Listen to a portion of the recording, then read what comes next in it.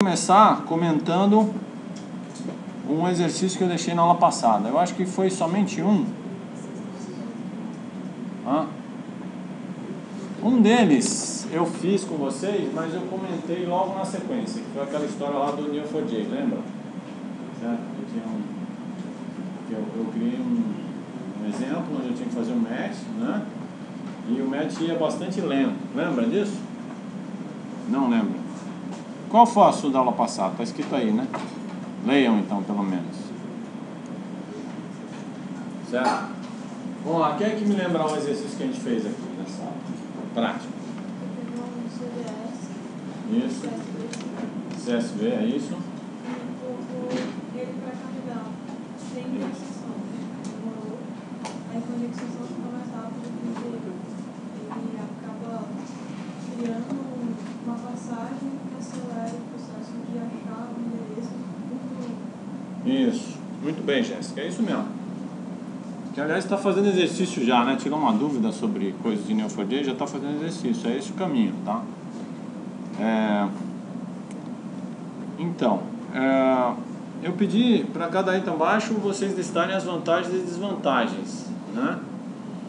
Alguém saberia me dizer o que, que vocês escreveram?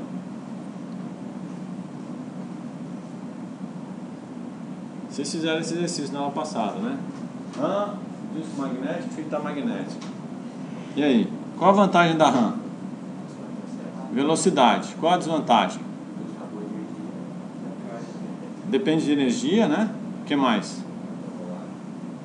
Então, é, ser volátil, né? O que mais? Hã? É cara, é muito caro, né? Disco magnético. É lento em relação à RAM, né? Mas tem vantagem, qual é? É mais barato. Qual a vantagem em relação à fita magnética?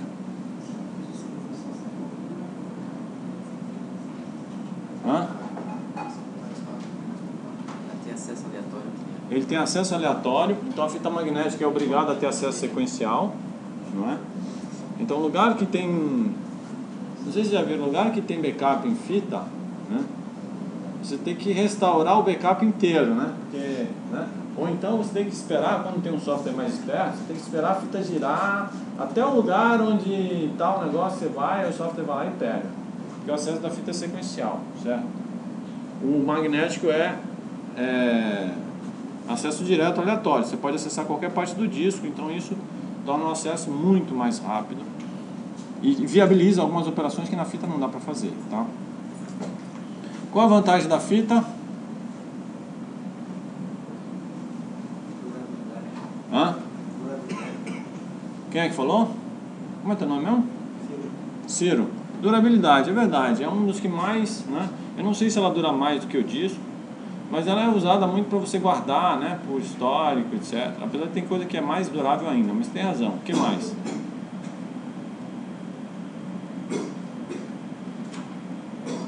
Mais barato. é a mais barata de todas. Então o preço por tera, vamos dizer assim, se você preferir, é muito mais barato do que qualquer um dos outros. Então, é, esses são os as é, ela é rápida, então a RAM é rápida e cara. Ela serve para pequenas quantidades de dados, tá certo? O que, que tem em pequenas quantidades de dados? A gente vai mais falar mais hoje sobre índice. Índice é uma das coisas que a gente gosta de botar muito na memória. Porque índice geralmente é uma coisa pequena em relação aos dados em si, certo? Dados temporários, etc. Disco magnético.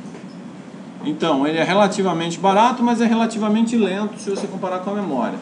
Ele guarda, ele guarda grandes dados, grandes quantidades de dados, dados institucionais, logs, etc. E a fita magnética tem baixo custo, mas é lenta. E a gente usa para dados de backup, dados históricos, logs. A gente vai falar sobre log em uma aula mais para frente. Essa aqui também foi um exercício da aula passada, não foi? A gente falou sobre consistência, velocidade de leitura e velocidade de gravação. Eu dei para vocês colocarem no fim da aula, não é isso?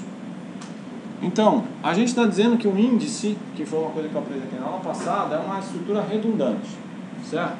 Tá, ele é redundante, ok. Então, esta redundância, por que ele é redundante? A primeira coisa, por que um índice é redundante?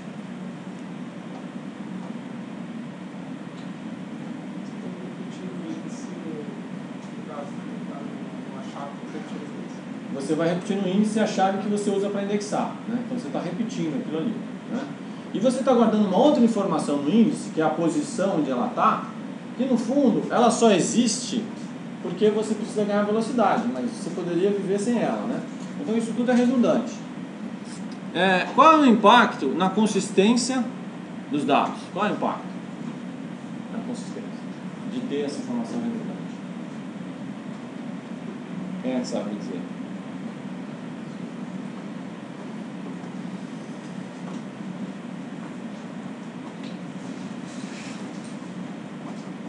Vamos lá, consistência dos dados.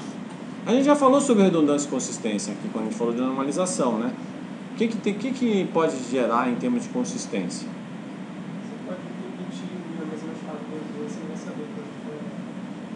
É, mas vamos pensar em consistência dos dados em relação ao índice. Já que é o índice redundante em relação aos dados. Mano, se, se, eu, se eu tiver alguma coisa no arquivo que não esteja no índice, o que, que acontece? Tem uma chave lá que está no arquivo, mas por alguma falha não está no índice. O que, que acontece? Quem é que sabe me dizer? Eu vou ter que chamar assim, um apontando? Tô. É, camisa azul, vai. Não sei o que, que tem escrito. Como é teu nome mesmo? Ivan, Ivan, vamos lá, Ivan. Ele não acha o registro, né? Que está indexado. Certo? Esse é um problema de consistência?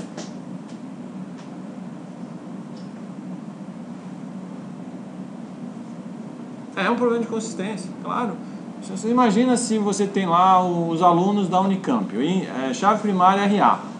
Aí o seu RA sai do índice. O que, que vai acontecer? Você sumiu do banco de dados da Unicamp.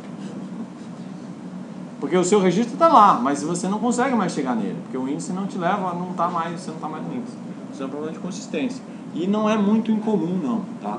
Tem o que a gente chama de índice corrompido. O índice corrompido é quando você tem coisas no índice que não refletem o que está no arquivo, tá? Porque ele é redundante. Às vezes você apagou um negócio, ele não foi apagado o índice, enfim. Aí na maioria dos casos a solução é você recriar o índice todo. E como o índice é redundante, você pode simplesmente refazê-lo e pronto, tá? Velocidade de leitura, você acha que é, a gente ganha ou a gente perde?